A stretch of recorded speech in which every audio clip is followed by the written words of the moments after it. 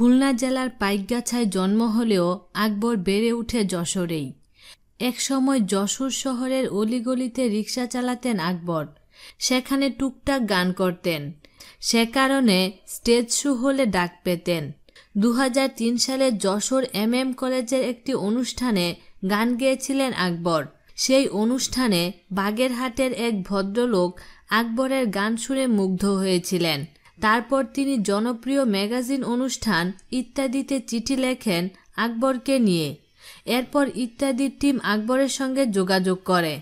ইত্যাদিতে একদিন পাখি উড়ে যাবে যে আকাশে, কিশোর কুমারের এই গানটি গেয়ে রাতারাতি সারা দেশে জনপ্রিয় হয়ে যান আকবর।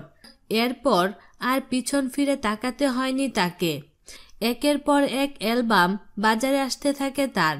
এর মধ্যে তুমুল জনপ্রিয়তা পায় হাত পাখার বাতাসে অ্যালবামের এই টাইটেলের গানটি। এদিকে আকবরের গাওয়া হাত পাখার বাতাসে গানটি যেমন তাকে নিয়ে গিয়েছিল জনপ্রিয়তার উচ্চতায়, তেমনি এই গানটি তাকে উত্থানের গল্প শোনানোর আগেই পতনের দিকে ধাবিত করে। আকবরের এমনই ধারণা, গানটির অডিও প্রকাশের পর ভিডিও প্রকাশ হয়েছিল। সেখানে আকবরের সঙ্গে মডেল হয়েছিলেন সেই সময়ের জনপ্রিয় চিত্রনায়িকা পূর্ণিমা। সে সময় চাউর হয়েছিল, আকবর পূর্ণিমাকে বিয়ে করতে চেয়েছিলেন। এতে পূর্ণিমা রেগে গিয়েছিলেন এই গায়কের উপর। এ ঘটনায় আকবর সমালোচিত হন। কমে যেতে থাকে তার গ্রহণযোগ্যতা। তবে সেই ধারণা সত্য নাকি গুজব? আকবর বলেন, এটা সম্পূর্ণ মিথ্যা কথা। আমি কখনোই নায়িকা পূর্ণিমা ম্যাডামকে বিয়ে করতে চাইনি। আমার গানটি করার সময় ম্যাডাম তখন সুপারহিট নায়িকা ছিলেন। ওনাকে যে আমার গানে পেয়েছি, এটাই আমার জন্য পরম পাওয়া। উনি অনেক ভালো মানুষ।